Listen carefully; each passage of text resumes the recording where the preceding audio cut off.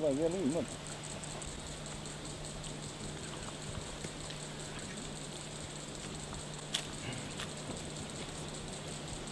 That would have been the old river there, and started washing its way through here now. Just trying to break through. When this pulls up, it's still trying to break through, so it's created through here.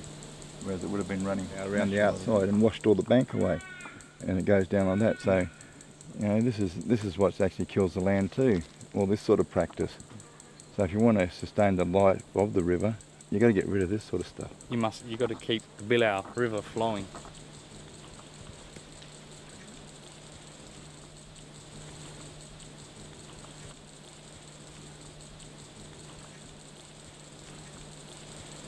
Why we came out here is um, because uh, first of all, is because of the artefacts we found and stuff, and and our old people have been here living long before you know we've been along and before um, Europeans actually came along too. So we just want to establish a history to the place that the the old the old Noongar people and the Bibbulmun people at that and the Warren River people that lived in this area.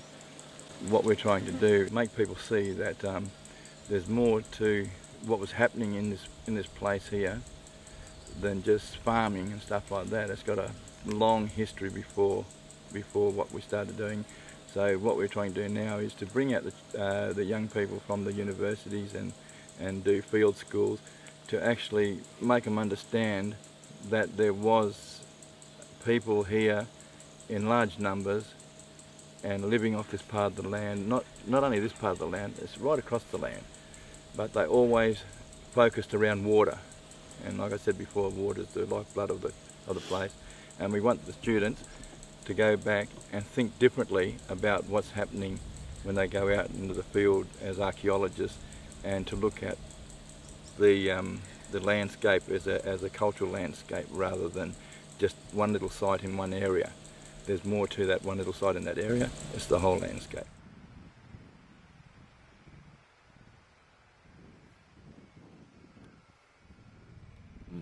a few people went down onto the airstrip there. It's a little private airstrip. Yep. And saw some stone artifacts coming out. And then we went and assessed it, and it's just massive, like one of the biggest sites around. Not many people actually moved or went this far inland and all that sort of thing. About you know didn't live in the forest, stuck to the coast, and only come up here during winter and then in split up in groups. So Uh, and this challenges that notion yeah, completely. straight up. So, but what it is, it just exposed visi- is the visibility. Mhm. So if we've got this, we've got this everywhere. You know, these sorts of sites. Yeah. We just don't see them. Yeah. So it was a really good study from an archaeological point of view, and also from a community point of view to to demonstrate. Well, hang on, people are here, and they were here in numbers. You know, Yeah. it was a major major camp, and but it's on private land, and you know, there's all those issues. So they negotiated with the landowners here to say, look, we just want to come and assess it and study it, um, and they were all caught up in their old sort of regional misguided views about what it means to have heritage on your property Yep. in yep, terms yep. of um, you know thinking it's got So something how was, that, title. how was that expressed initially? Were they fearful of involvement or? Very. As a landowner here, how- how do you feel about the field school as a program and and um, the benefits of it to you and your operations? I've learned a lot about the land itself and uh, and how the process of archaeology and the, the, the understanding of the indigenous culture, and I think it's a tremendous uh, benefit to, to me and, and probably everybody that, that comes here in the future because I understand a lot more, and I think your students get a lot lot out of it as well, and, and I think it's just one of those ideal places. And I've the learning curve is very steep at the moment, Mhm. probably too steep. like the future, do you think this is something that could be an ongoing venture in terms of, well, not not only for you but for other people who might be interested in similar similar types of work? I, I would certainly like to see it. Um, you know what I've seen of, uh, of um, the indigenous people here and, and what they've explained, and What about just from a property management point of view? Is there anything that you can that helps you in terms of you know some of the work that you got to get done on your property by having students and others come down and, and look at it in detail? well, the more I understand about the property, the more I can see what, what can be done. Uh, particularly things like the, the weed control and about the understanding of what, what I can and what I shouldn't do with the land. Um, I, yeah, I, and, and I think from that point of view, it'll be a, a real sort of um, bonus um, to, to have them involved, and, and, and also from, from my end, the property management or any other staff that I have, that I can explain to them what, what you should and what you shouldn't do. Yeah, absolutely. The first port of call is the elders, and we'll bring them out here, and we'll sit and talk with them, and they can tell us what they what they know and what they want want to happen, and they will be the guides and the supervisors of the project. The second thing we'd do is bring a land care person, like Cheryl, um, and she would look at the, the quality of the water, the threats to this system, and give us ideas of how we might manage. It's amazing what, what you can learn. I think there's a lot of sad. I, I was listening to your lecture last night, and bloody a lot of sad cases around, isn't it? What, what they've done with it, and uh, how they've destroyed it, and the elders and the youngsters, the youngsters being taken away from their parents, and they build a bridge, and Mm. be amazing, really. Yeah. And I, and I was explaining to the, the wife last night. I said, well, I suppose it's a bit like uh, somebody coming in through Karrakatta and uh, demolishing it and putting up high-rise apartments, and your mum's buying there. Yeah. it's much, much the same, isn't it?